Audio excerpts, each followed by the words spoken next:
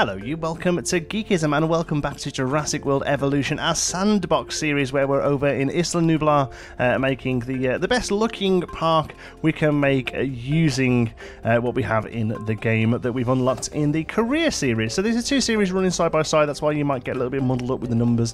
Uh, just check out the thumbnails; you'll see the difference. This one is um, just uh, Isla Nublar, unlimited money, and we're going to be coming in here every few days and adding in the stuff we've unlocked from the career mode. If you enjoy this video, please let me know by clicking the like button. And uh, if you're not already and you're new here and you'd like to see lots more creative gaming for grown-ups, don't forget to click subscribe. Um, quickly before we talk about what we're doing here, because I'm basically just leveling out some land.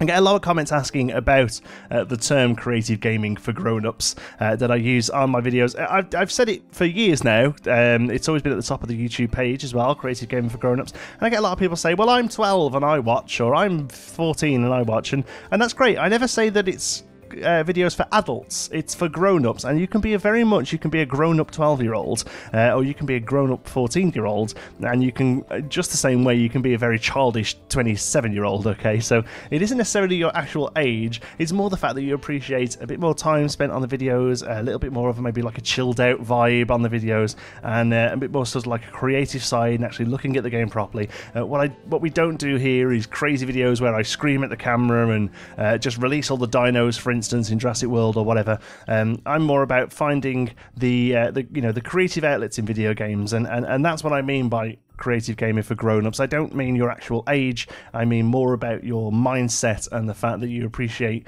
um, you know, the, the sort of slightly more subdued and uh, and detailed playstyle. So that, that, that's what I mean there. I'll have to mention that a few times because I, it, it keeps popping up in comments now. So Anyway, let's talk about what we're building. Uh, I've got a large lake here, and we have the Innovation Center unlocked from Island Number One, uh, so I'm going to place that in as well. Uh, I've seen on the subreddit for this, uh, there's some really great um, people doing similar to this, sort of creating a, a sort of uh, really high, high uh, detailed um, park here on Isla Nublar, and some of them actually sort of trying to copy the the actual Jurassic World park. now, I haven't seen Jurassic World or the new one. I'm going to try and catch them soon, to be honest, because I feel like I should watch them really playing this game.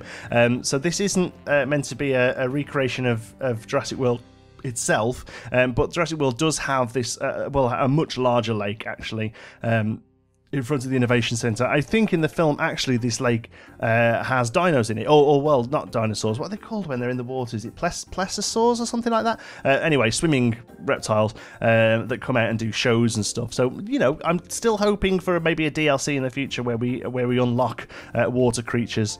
And um, so, but here we've just kind of gone for a bit of a lake as a centerpiece for the park, and then obviously we have this innovation center. You get three centers, one for each of the um, uh, the, the what they call the the sections in the in the game uh, the groups. You know, there's so there's entertainment, science, and uh, security. Uh, this is the entertainment one. Uh, there's also a science center and a security center. They both basically do a similar job. They're basically a ploppable uh, item that just generates cash. That's literally what they do. Depending on how good your rep is with each of the factions, uh, factions. That's the word I can think of. Whatever you do, depending on the rep it is with that in, in faction, will it will make more money.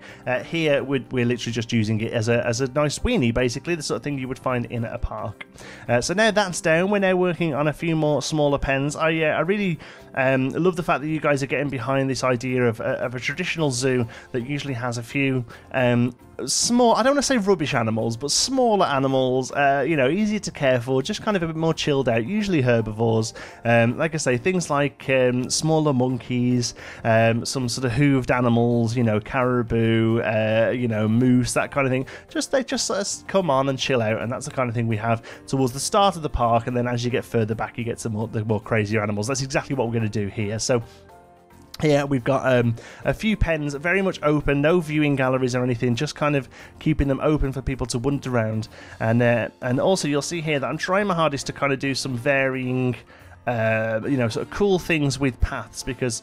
Um, I, again, we don't have that much decoration in the game, so but, but, the pathing tool is pretty good, and it's one way we can actually kind of, um, you know, stretch our creative muscles a little bit. So you'll see that I try and do a few different ideas with paths and almost kind of make uh, viewing galleries uh, that aren't really viewing galleries, you know. So we've got um, we've got the viewing galleries in the game. They're quite big structures that people can actually come into in the game, and they come, uh, uh, you know, and actually see the dinos. But on these smaller pens, um, they don't really look very good. They're, they're a bit too big. So instead, I'm going to make these sort of uh, pretend ones using uh, some paths. So you'll see we've done that there, and we do it on the other side of this as well. This one actually stays empty.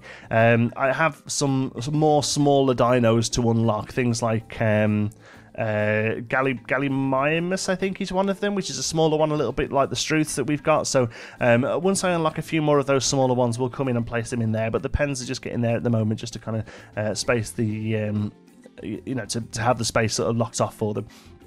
And then here we do our slightly fir- uh, our first slightly bigger uh, pen.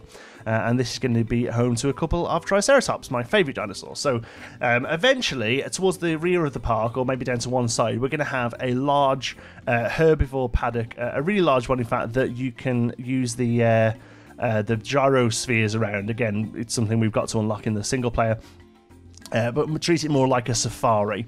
Uh, so we're going to have that, but uh, but in the meantime, uh, on the way up to there, we are going to have some uh, some slightly larger herbivore pens that will hold some of the uh, the larger ones. So here we've got a couple of trikes. That sort of mid-level size. Of, I'm trying to get a tree in there, but unfortunately, the um, it's a little bit little bit it could be a little bit more lenient as how close you can get trees to the paths i think but at the moment yeah we can't do anything much there. So um, here i'm leasing a couple of uh, which are going to go in that uh, other paddock that we've opened up and uh, just two of them. They're pretty happy there on their own. They could maybe do with three. I think I've actually I do put three in there eventually. Um, but one thing I did really realise is that you don't actually need that much space for them to still be happy. I, on that first island, I, I built uh, was doing pretty big pens really for them, and actually they're, they're quite content with their relatively small space. And I think when you zoom out and look at how big they are here, you can actually see that that's a pretty decent size enclosure, um, you know, for them. And, and like I say, all, all their stats are, are more than happy. So, uh, so yeah, so those mid-sized level, those sort of Triceratops and um, uh, Edmontosaurus is that kind of thing, those sort of mid-sized level. And then obviously when we get to the big herbivore safari, uh, we'll have all our sort of brachiosaurs and uh, Diplodocus, uh, you know, and things like, you know, the real big monster, sort of big herbivore guys. Um, we'll have those more of a sort of free roaming area, probably there to the left of the um, of the innovation center, I guess. But uh, yeah, really enjoying kind of figuring out how to place these areas down, and uh, you know, doing some some different ideas with the with the cages, and and, and, and trying to uh, rather than just putting down boxes, you know, there you can see we sort of tied them around to the paths and tried to get some varying shapes with them and make them look a little bit more interesting. Here I placed down a restaurant. Uh, we still have quite a few Main Street buildings to unlock. There's a bowling alley, there's an arcade, I think. There's um, maybe another another gift shop. Uh, I, I, know there's a few others. I, am having a little bit of trouble sorting the path out there, but I think I give up in the end. Um, but yeah, so we're going to open up a few more of them, have them sort of left and right, sort of coming away from the innovation centre.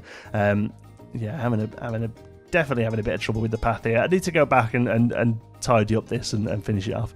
Uh, the warning labels there, mostly just telling me that these buildings up here aren't um, aren't powered so we'll sort that out. At the moment, we only have the small uh, power station unlocked. So again, eventually we'll go back and, and replace, uh, uh, make our power grid a little bit more sort of robust once we unlock the medium and large power stations in the career mode, which will uh, will return um, tomorrow. No, no, tomorrow's live stream. So we'll live stream tomorrow, and then Thursday we'll carry on with our career mode, and we'll hopefully get uh, Isla uh, Muerta finished.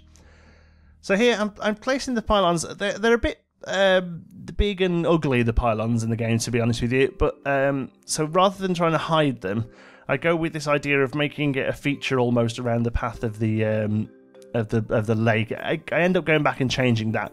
Um, I'm just trying to find my power lot here, yeah, so we can put throw in some upgrades to get that little bit of extra juice out of it. Um, somebody pointed out that in the sandbox mode there are some sandbox specific options, so you can turn off. Uh, uh, dinos getting ill. You can turn off dinos escaping. You can turn off uh, a few other features as well, uh, well, storms and things like that. Uh, so I've done all that obviously because you know we're not playing this level for the for the management uh, challenge. We're playing this level just to make it look nice. We, you know we want it to be as sandboxy as most. Uh, the one sandbox feature I'd really like them to add is the um, is to stop dinos aging. Uh, because uh, they still age, unfortunately. So while I'm building this, uh, all those dinos that we've got are, are, aging, and it is going to get to a point where we have to sort of go around and replace pretty much all of them. So uh, yeah, I'd like to see a, a, an aging uh, feature turned off just for the sandbox, uh, just so that you know the dinos can sit there and live in, in sort of perpetuity uh, and enjoy themselves. Here we're moving across a third uh, Dracorex, and I think this is when I start working on the trikes. Uh, there we go.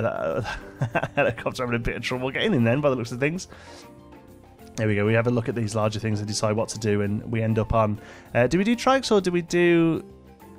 Yeah, we. Do, I think I was. I was looking at the other one, which is the um, the unlocked one for having the the uh, deluxe version of the game.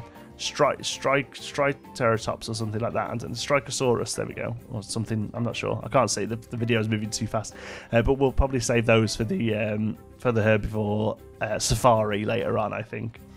So here we just got a couple of regular trikes. Unfortunately, and again, you just kind of have to sit and wait in this game. It is a little bit of a sitting and waiting game. It's not so bad in the career mode because there's other things to do. You know, there's food to, to fill and there's, um, you know, sabotages happening if you're not keeping your factions happy and all that sort of stuff. But here, uh, you know, you want some dinos, you just kind of have to sit and wait for the dinos. So there we go. We've got a couple of uh, Triceratops ready to go there. I'm very likely looking at another screen. There we go. I've caught up with myself. Um, most likely just sort of looking at something else there. Two or three trikes seem to be the uh, the magic number. So uh, we've gone for two here, and uh, I might well go and stick a third in. Maybe if we unlock another um, skin, because here we've got two different skins. I think one's the arid skin and one's the base skin. Uh, so maybe a third skin would, would go quite well there, just to kind of just to give them a bit of um, bit of personality and a bit of sort of separation, so they don't all look the same. Um, and then while they're on the way over, we're going to make the uh, the place look nice for them. So I'm trying to keep in the um, the, the, the, fences to some sort of uh, rules here. So at the moment we're using light fencing for the pens and then heavy fencing for uh, sort of keeping the guests out area. Now I know that doesn't really fit uh, with you know one being heavy and one being light, but the heavy fencing looks a lot more. Um, I don't know really util- utilitarian, I guess. It's, you know, sort of uh, it looks a lot more suitable to be uh, used as as keeping air- guests out of areas. I mean. Um, and also the light ones, you know, are a bit more open, so you can really see what's going on a bit more. So there we go, a couple of Triceratopses, uh, Triceratopsi? Triceratopses, no, I guess. And then I'm just going back and renaming. Uh, we've done this in the first episode, but then I had to get rid of it and move it so that we could get some trees behind it. One thing I really want to try and do, and you'll see every now and again, I go down to uh, ground level and have a look around, and that is uh, to keep the sort of backstage areas away from uh, the front stage areas. Now, uh, the guests in the game do go in and check out the backstage areas, which is fine. You know, as a zoo, I guess you know it is a little bit more focused on sort of conservation and things like that. So I have no problem with guests sort of checking out the science buildings because uh, you know you could you to sort of explain it, uh, you could say that they're on like a VIP tour, or you know, a lot a lot of zoos there do tours where you can go backstage, maybe feeding a couple of animals and things like that. Uh, and here we're building the science building, and what I'm doing here is basically a science area. So um, we've got the storm building there. There aren't going to be storms in the game. Um, but but it just it's a nice looking building, and here I just wanted to kind of uh, play around with the idea of having like a science park that the uh, the scientists could head over, and uh, and also guests who are intrigued as to how this system is put into place, they could come over and check things out. Trying to do it, also trying to do a little bit of terrain work here as well, but the, the buildings just do not play well with uh, with terrain that's on a slope. So um, I get to work in the end, but I think eventually this might need another little re-go at it to to kind of really really um, make the most of the space here I'm taking the um, uh, the power lines away from that path because I, yeah, I just I didn't really like how it looked in the end. Uh, so what we'll probably end up doing is having the power go all around the park and then coming in to substations where it's needed. I think is probably the best idea. We're going to have the monorail run through this area, and uh, again, like I said in the first episode, I can imagine the uh, the monorail having a bit of a voiceover, saying something like, "We're now over, going over the, the you know the Hammond Science Park where all the magic happens," you know that kind of thing. Um, a lot of the times in Disney, when you're on the uh, the transport systems, you'll end up driving past a few uh, you know old uh, old uh, you know buildings that were used to, to actually draw films and stuff. I don't think there's much done there now actually at the Walt Disney parks, but a lot of the time you would you go back buildings or or maybe you know Walt Disney's holiday home or whatever, you know, and it'll tell you things like that. So I kind of like the idea of, of that sort of um, glimpse at the backstage if you want it, basically. Here, the monorail was just a little bit too close to the uh, to the pylon coming out of the uh, of the power supply unit we've put in there. So um, just trying to move everything around a little bit so I can get the monorail at a bit of an angle. And uh, again, you know, the, you can see there the terrain's a little bit funky on the path. I, I don't mind how it's turned out, but I do feel like maybe having another go at that to make it a little bit more sensible would uh, would make sense. And, uh, and that's pretty much what we do. So we've added a few new dinos, we've added our innovation centre, we've added a bit of a science park. The next episode will uh, probably work on some hotels, I think. Thank you so much for watching. Hope you've enjoyed it. If you have, you can give us a like. It really does help out the channel. And if you're not already, don't forget to subscribe. Any thoughts, queries, or suggestions, you can pop them down in the comments. And if you fancy chatting, you can find me on Twitter. I'm at Jonty Sparrow. Thank you very much for watching. I'll see you in the next one.